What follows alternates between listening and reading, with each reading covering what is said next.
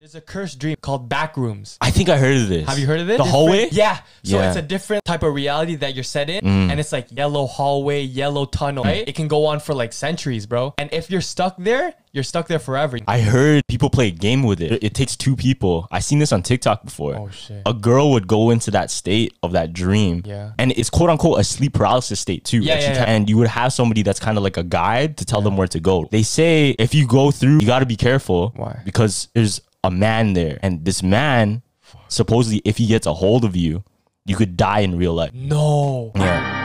Yo, imagine you see the man and you start running. Mm-hmm. That would be the scariest shit ever. You're supposed to avoid that man. Yeah. That man in the dream. Because if he gets a hold of you, you're dead. I didn't even know that. Because I searched it up. Now I know about backrooms. Mm-hmm. I'm probably gonna be thinking about it, and I don't want to be set in there. I had a dream when I was a kid. Yeah. It was very similar to like this type of thing. Yeah. It was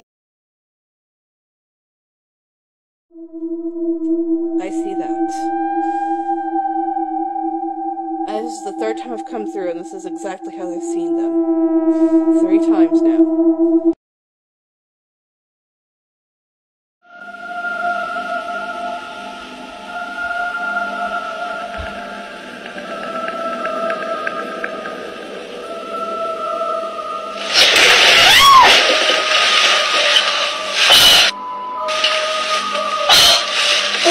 What's up? I'm back.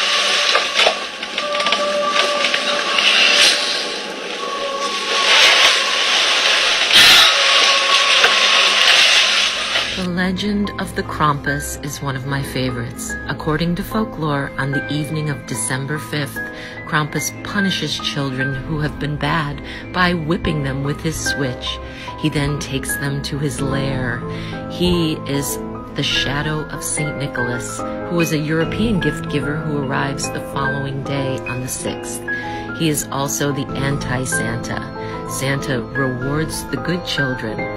Krampus punishes the naughty children. Happy Krampusnacht things caught in churches. In this 2015 footage, a man is filming a cathedral at night when something strange grabs his attention. Instead of getting away, the cameraman follows what he's seen and as he gets closer and closer, a face begins to slowly pull back behind the wall. The video then makes a quick dash to catch another glimpse, but the face has completely vanished by the time he gets there.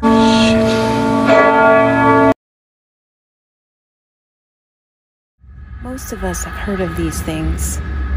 We just call them by different names. In European culture, they may be referred to as gnomes, sprites, or elves. As Spanish speakers, we call them duendes. These clips are alleged sightings of duendes that have been caught on camera. It is said that duendes live in the walls of your home, especially in the walls of children's bedrooms. For some reason, they like to cut toenails from children's feet, sometimes cutting off the entire toe. Have you ever heard a knock seeming to come from inside your wall?